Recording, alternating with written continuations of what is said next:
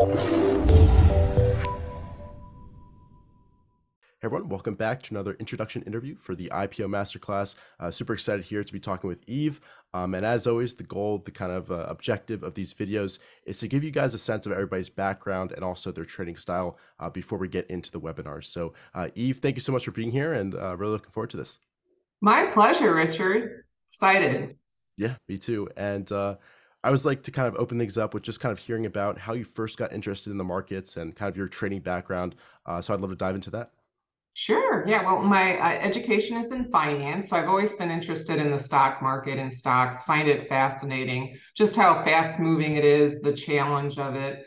And I really started trading my own account in earnest in uh, 1995. I ran across uh, Bill O'Neill's book, How to Make Money in Stocks. I was looking for different investing and trading books and really dove into that and started attending Bill's seminars, uh, learning more and more about growth stocks. So I, I traded my own account from 95 and then I went on to work for Roppel Capital Management in 2011. And that's where I started uh, working as a portfolio manager with Jim Roppel. And I've been working there ever since. Uh, I get to do what I love every day. I love researching stocks and talking about the stock market and, and looking at all the moving parts. Uh, so I feel really lucky in that way that uh, I have a passion for the stock market and stocks, and, and I get to work on that. Yeah, fantastic. And along the way, were there any kind of key turning points? Uh, it's actually pretty cool that it seemed like you started out pretty quickly learning Bill's system and, and learning CanSlim and having that as your foundation. Yes, I was very lucky because in 95, so I, you know, I studied um, growth stocks, I studied Bill's book, and I studied other books as well. And I started uh, trading my own account. I was very lucky because it was a very strong market at that point. Um, in, in 95, I chose some stocks and I said, wow, this really works. The system really works. And the problem is, it's not really a good idea to start out and be very successful. I think it's important to learn lessons from stocks. And I, I think we'll talk about some of those as well along the way. So uh, it's really like you need to pay the tuition to the stock market and, and learn um, from your mistakes along the way. So starting with a strong market, I don't think was that great, that great for me because uh, then I learned some hard lessons when the markets became tough. Yeah. Yeah, for sure. And what have been some of the most memorable trades that you've made or most impactful trades where, you know, you really came out of it with some key lessons or it kind of, you know, flipped a switch and really transitioned your performance and brought it to a new level? You know, I was thinking about this. I've talked about eBay, and I want to mention that even though I've talked about it many times, and I think Amy Smith wrote about it uh, in her book as well. eBay in 1998 taught me several lessons. And uh, if you recall back in 98, looking at the chart, uh, it was an IPO. It had a you know a deep IPO base. And um, then when the market turned, um, it powered out of there on like a super, super gap out. And, you know, I mishandled that trade, but I think it was great in terms of lessons learned. So, you know, it shook me out. It was, and then it just went on without me. And um, it had a phenomenal run, right? So you keep watching it, you know, week by week, month by month, and, and you're not in it. Um, so the, one of the big lessons that I learned from that trade was you know, you need to be willing to try again. If you get shaken out of a trade, because you can be right on the stock um, and wrong on the timing, right? right? So you have to you have to get both both right. The other thing I recall is reading some analyst reports, you know, different research. I would always, you know, read about different viewpoints. And I think, you know, one of the negative reports just got into my mind. And, um, you know, they were saying the company doesn't have a moat around their business and you know um, competition can get in there easily. And so i was at that point just too easily swayed by um, by an analyst report. And so one of the big the other big lesson that i learned from ebay was to to really do your own research uh, and come to come to your own opinions. I mean it's it's great to read all of that information but in the end, the firsthand experience is very important. So, you know, going to the company, using their products, using their services, having that firsthand knowledge so that you know, one report, you know, one negative report doesn't sway you and, and knock you out of a, a potential big winner. Yeah. Yeah, and I think that's one of the parts of your presentation, your personal presentation that I'm most looking forward to is you kind of explaining, you know, how you go about analyzing a stock and using an example as well. So I think that will help out a lot of people. Um, and I'd love to kind of hear your you kind of answer this. Um, how would you describe your personal style as well as your time frame? And do you kind of prefer trading the IPO advanced phase or the institutional advanced phase? Kind of which one do you prefer between those two? Sure. Uh, I would say I'm an intermediate uh, position trader. So the typical position I'm going to be holding for a few months um, for a select few, you know, high conviction names early in the process. Um, I'm going to try to hold those for longer. So those may be a year or two. Um, my longest hold, I would say, was like two and a half years. So that, but that's kind of an outlier. But typically, it's uh, it's several months to uh, a year or two. And then I like trading both phases. I do like trading the IPO advanced phase. Now, when I do trade that phase, those are going to be shorter term trades.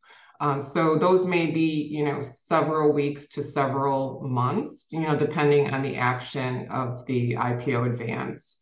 So a little bit of both. Um, and I do trade, or even though I'm a position trader, I do trade around a core. So I'm an act, I'm an active trader. I'm not going to, you know, if I expect a pullback, looking at the technicals, I'm going to reduce the position, try to hold on to a core. I'll be adding at different points and, and possibly hedging the position at certain points.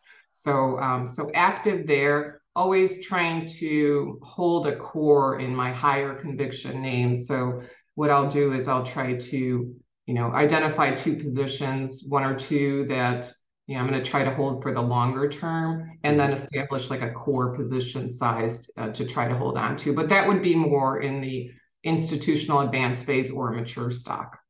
Yeah, makes sense. And how much of your process would you say is fundamental focused or uh, technical focused?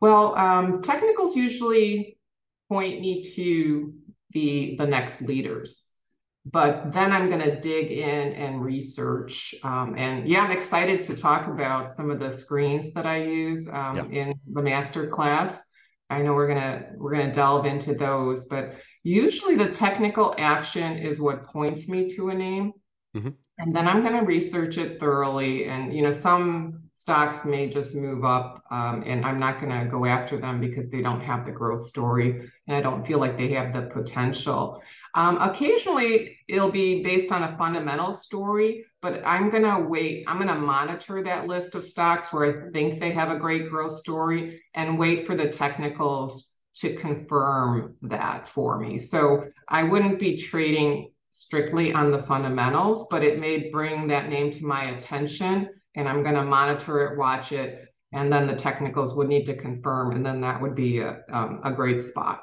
to yeah. To really take a position in the name. Yeah, great. And uh, this is this is kind of an interesting question because I've kind of heard a little bit of a, a version from everybody.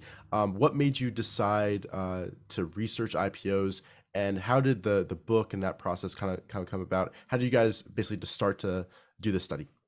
Oh yeah. So um, this is going way back. Uh, well, I wanted to find a way to hopefully identify the next uh, Google, the next Amazon um, before it started its move. So I was wondering, is there, you know, is are there some clues? You know, mm-hmm. are there there are there some signs in advance? And um, you know, I tried to do a little bit of work, and then I realized you know, I started talking to um, folks that I work with closely on other research projects. And so, you know, Kathy and Eric and uh, and then Kurt joined in and we were all talking about it. And our project morphed over time. You know, we we uh, had some stops and starts in the project uh, because with any research project, you can really get overwhelmed. But we we found our way and we focused on what we wanted to accomplish. And without that team, we would never come out with all of the great research findings because everyone brought their own unique perspective to the team. And we learned so much going through the process. And we were, the, the research findings were so eye opening that, you know, we started thinking to document them and to really document them thoroughly. Mm-hmm. And whenever you go through that process, when you're doing your own research, and then you have to like document it and really, you know, finally we were putting it into the book form. You know, it's just a great learning experience to put that down. And one of the things, you know, when we were researching early on, we looked, you know, are there IPO books out there? And we couldn't find many on the topic. So, you know, once we finished the research, we were looking at it and thinking that, you know, this could possibly be a book to share, you know, put all the research findings together and share them because we found that the research findings helped our trading. And we thought if we document that in a book format, then that could help potentially other traders. So, um, yeah, so I asked Kathy if she wanted to um, write a book with me. and uh, we started that. That started the journey of the of the book phase. And uh, yeah, it's been a, it's been a great journey, and um, hoping that it's helping other traders out there. Yeah, fantastic. And uh, what were some of the key lessons that you took away from the study and kind of applied to your own trading? Obviously, we'll, we'll definitely dive deeper into this in, in your actual uh, presentation, but I'd love to hear, you know, one or two of, you know, the top findings that really stood out to you and made a difference about how you pr- approach uh, your trading. Sure. I, you know, you can get really excited about an IPO early on and they can have some wild moves in, you know, a few days but you know, one of the key findings was just you know how quickly that pattern will undercut its first trading day. So there's really no hurry. You know, it's even though you feel that there might be that you know rush to get in there really isn't so when we studied the patterns we found that um, you know often the first day low is undercut very quickly so it's, you know, I wait now for an IPO base and I also, you know, wait through the institutional due diligence phase for the institutional advance phase to start because, you know, it's the IPO advance phase is like a fast phase. So that can be um, traded more quickly, but really to latch onto a big leader that can be held for a long time um, it's after that first mature base. So I think just distinguishing between the phases and knowing how to, which rules to apply to those different phases and um, having that research behind us, that, that really helped with my trading to know which rules to apply for which phase. Because in the past, you know, this was another reason why I wanted to do the study was you know i would have these i would pick like the right ipos sometimes and and buy them and have a good profit but then give back a lot of that you know trying to hold on for a long time you know not realizing so much that these phases and these patterns repeat over and over again and that trying to apply you know intermediate to long term hold rules to that ipo advance phase is going to often result, you know, in a round trip or worse. Yeah.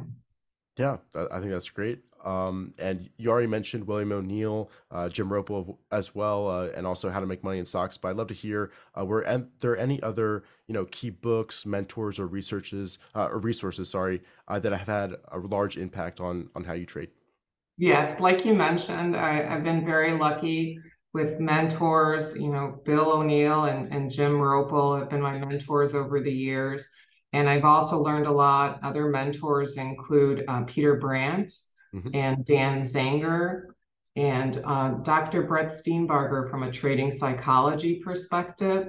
So very lucky. And also um, Jack Schwager's books have influenced me and helped me. Um, I've gone through the Market Wizard series and the other book that always um, comes to my mind when I'm asked about, you know, top books that have influenced me is um, One Up on Wall Street by Peter Lynch. Just really knowing knowing what you have, knowing knowing the company. Yeah, great. And I'd love to hear what you're most looking forward to about doing this masterclass and, and teaching the students. Well, I love talking about the stock market and stocks. So I think we're going to have a lot of great fun because everyone's going to get together. And I think the people that are joining us have a passion for the stock market and stocks and IPOs as well. So I know we're going to have a great time together talking about stocks. Yeah, great. And do you have any advice for the students taking this class to kind of get the most out of the the whole experience? Well, whenever I would attend a, a webinar or a seminar, when, as I was, you know, I'm always learning. So I'm always like writing my questions in advance. So one thing I would suggest is to, to write out questions so that we make sure that we cover them during the webinars. And this might sound self-serving, but you know, read the book or reread the book if you haven't read it in a while, because I think, you know, we're going to try to go um, beyond that and um, and apply a lot of the concepts from the book, and we'll cover them. But I think if you have the book handy, it would be great, you know, to read that and and then uh, or reread it if you've read it a while back. And uh, and then also you'll see that as we go through the master class, that uh, each of the lifecycle team members have their own unique trading style, and we're going to be sharing that uh, with the attendees. So um, one of the things I'm hoping is that attendees can find like the style and the tools that they can incorporate uh, to match their trading style. And so, you know, kind of comparing and contrasting the different styles and the different methods that we share uh, with attendees, I'm hoping that everyone will, you know, walk away with some tools to help with their own trading. Yeah, I think I completely agree with that. Uh, I'd reinforce that. And also going back to the questions, uh, we'll have dedicated spots within the class uh, itself where you can submit questions. And then during the live webinars, there'll be a Q&A box at the bottom of your screen where we highly suggest you, you know, submit any question you have uh, throughout because at the end of each webinar, we'll have, you know, a dedicated spot where uh, we can get those answered. So uh, thanks so much, Eve, for, for taking the time to do this. And yeah, any last words to leave any of the students with? My pleasure. Thanks for asking me to, to meet with you today and chat and do a little bit of an intro. I'm looking forward to, to meeting the attendees and uh, just can't wait to get started. So thanks so much. Yeah, awesome. And to everybody watching, see you guys in the live webinars. Take care.